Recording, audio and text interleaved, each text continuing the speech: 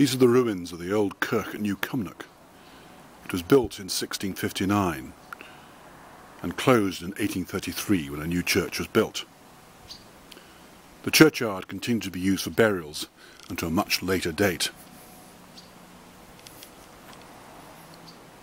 Robert Burns mentions the Reverend Young, minister here, was one of the old Licht, with the old ideas, strict interpretations that Burns lampooned in one of his poems.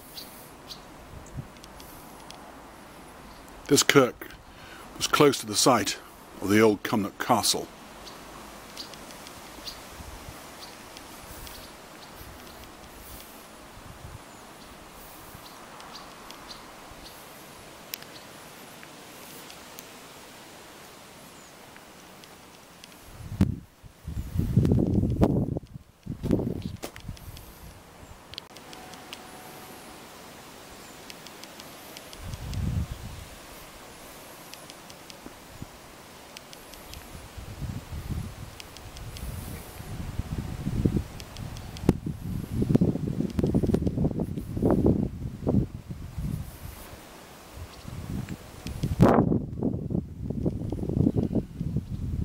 Looking across here to the site of Knockshinnoch, an old coal mine, now a nature reserve.